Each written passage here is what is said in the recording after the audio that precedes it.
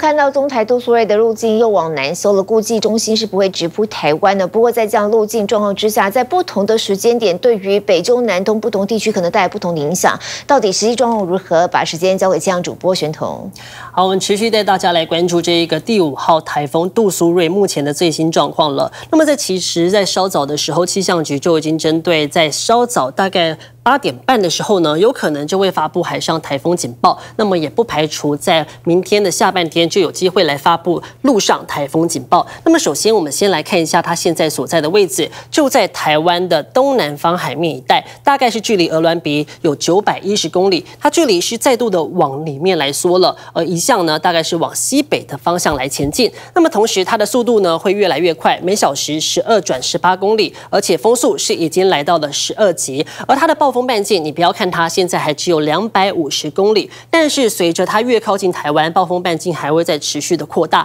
有机会会来到三百，甚或是三百五十公里，也就是等于说，其实全台湾几乎有二分之一都在它的暴风圈笼罩范围里头。那么除此之外，我们还要特别提醒您的，就是在礼拜三还有礼拜四的时候，相对来说它是最靠近台湾的时间点，所以到时这个包含像是东南部地区以及西南部地区的观众朋友都要留意这个风势。雨势都会来的比较强一些。那么除此之外呢？除了中央气象局，还包含像是各个国家的路径预测，都有提到说，现在他们都有稍稍的收敛往南偏的情况。那么其实他们都是通过像是菲律宾北方海面之后呢，接着是来到了巴士海峡，通过到中国大陆去。那么可以看到，虽然它现在呢是路径往南修，不像之前从移花登陆不会有这个中央山脉的破坏，但是也有可能会因此而导。致中南部地区的民众感受上是会比较明显一些的。那么，当他如果来到了台湾的正南方的时候，包含像是北台湾的观众朋友也要留意，因为风势也会来的比较强一些，有可能会吹起十级以上的阵风。主播，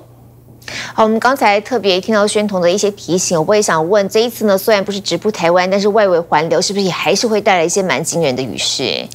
好，没有错，这个杜苏芮台风呢，真的是来势汹汹。虽然呢，它不是从移花的方面来登陆，但是呢，因为少了中央山脉去破坏它的结构，所以它的外围环流呢还是非常的扎实的。所以影响时间点最靠近的时间就是在礼拜三还有礼拜四。那么首先我们先来看到在礼拜三的这一天呢，因为它台风。这时大概是在台湾的正南边，所以包含像是整个东半部地区以及恒春半岛呢，雨势和风势都会来的比较明显一些。再来看到的是在礼拜四，这时台风是在台湾的西南侧，所以包含像是在整个东半部地区之外呢，中部以南的雨势也会开始变得越来越明显。那么你可以看到，在北部地区虽然雨势并不是特别的强，但是这时候也要留意，因为这时吹的是东风，所以包含像是在台北盆地，因为地形影响。有机会来到十级风以上，所以民众出门的时候还是要小心这高处的坠落物，否则可能会伤到自己的身体。那么来到了礼拜五的时候呢，这一天风雨虽然看起来是有慢慢减缓的，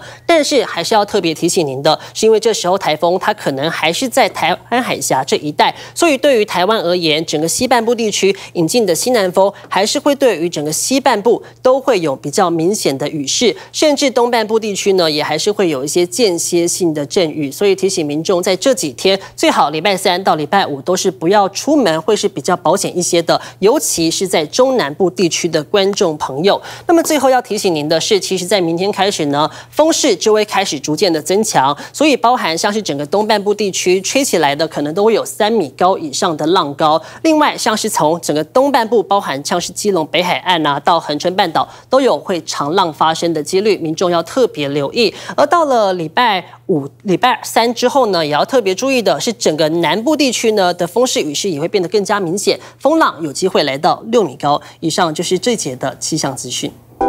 想看最完整的新闻内容，记得下载 TVBS 新闻网 APP。